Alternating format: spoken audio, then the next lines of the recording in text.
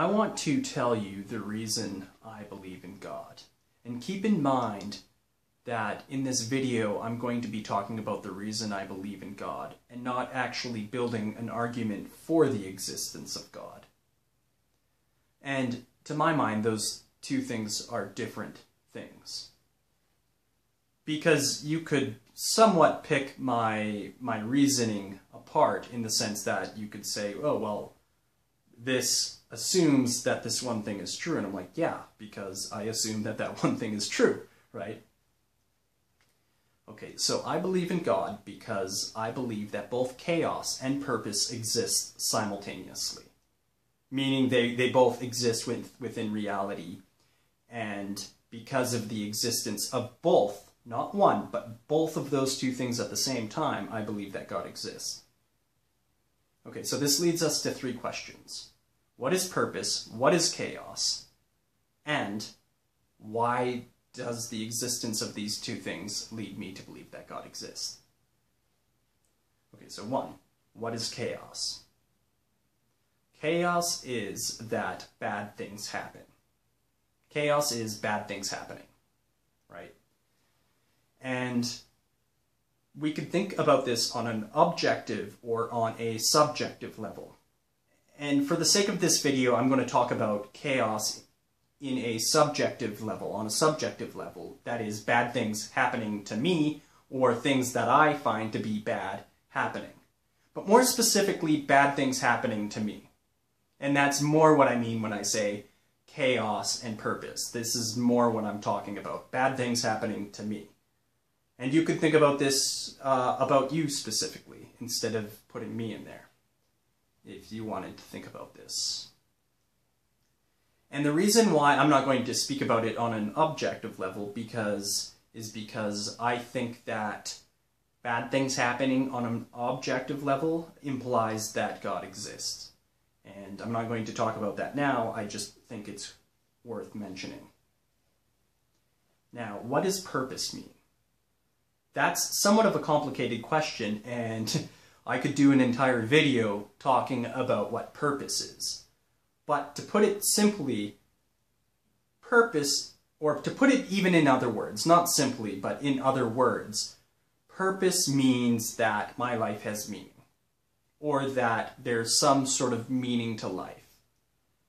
Uh, and that my life matters as well. Not just a meaning to life. It's, it's more than just a meaning to life. It means that my life matters. It means that the things that I do matter. And that my purpose, specifically speaking, uh, my purpose is not to suffer without meaning. And that's what I mean when I say that I believe in purpose. That my purpose isn't to suffer without meaning.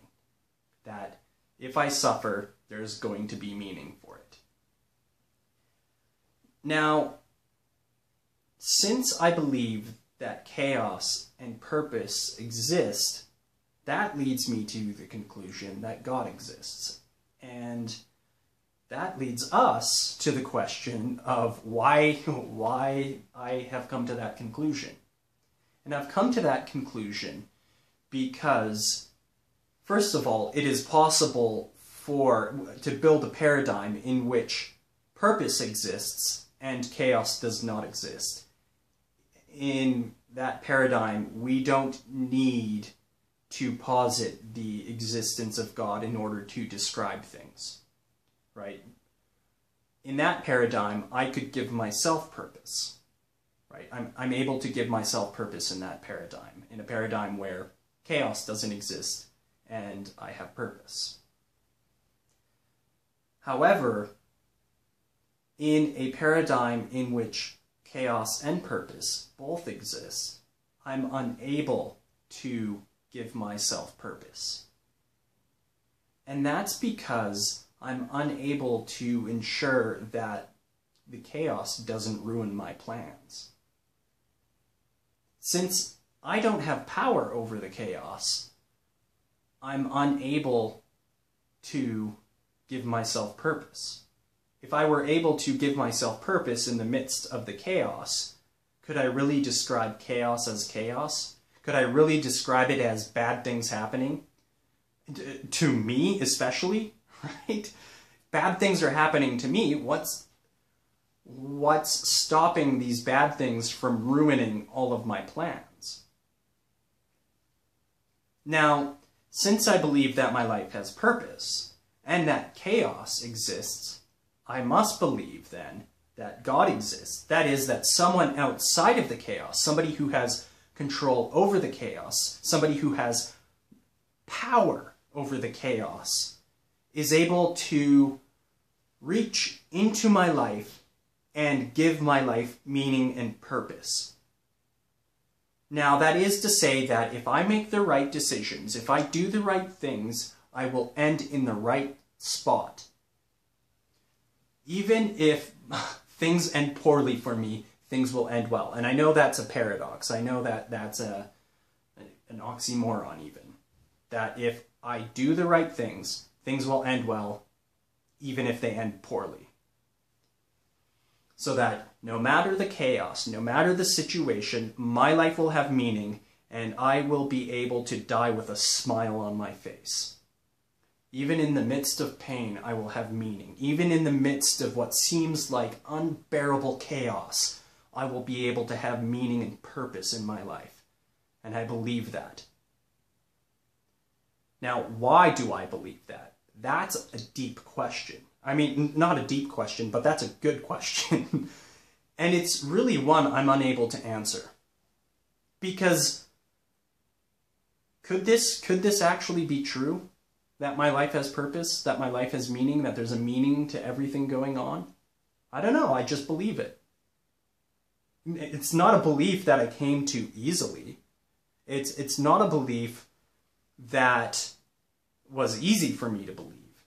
It was something I believed after pondering it very deeply. And again, like I said, this isn't an argument. This isn't a good argument for why God exists, specifically because of this, because I can't prove to you that your life has purpose, right? It's just that if my life didn't have purpose, then I'm not really sure the reason I'm going to exist. Right? This is the entire question of to be or not to be. Whether 'tis nobler in the mind to suffer the slings and arrows of outrageous fortune, or to take arms against a sea of troubles and by opposing end them. Right? I mean, that's that's the entire question, isn't it? And if I'm going to choose to be, it's because I believe that my being has meaning. And if my being has meaning in the midst of chaos, then there must be someone outside the chaos calling my being, calling my existence into purpose, into meaning, into excellence, into fulfillment. Or to put this entire video, to put this entire explanation in the words of the psalmist The Lord is my shepherd, I shall not want. He leads me into green pastures. He makes me lie down in green pastures. He leads me beside still waters. He restores my soul. He leads me in paths of righteousness for his namesake's. Namesake. Though I walk through the valley of the shadow of death, I will fear no evil, for you are with me. Your rod and your staff, they comfort me. You prepare a table for me in the presence of my enemies. You anoint my head with oil, my cup overflows. Surely goodness and mercy will follow me all the days of my life, and I shall dwell in the house of the Lord forever.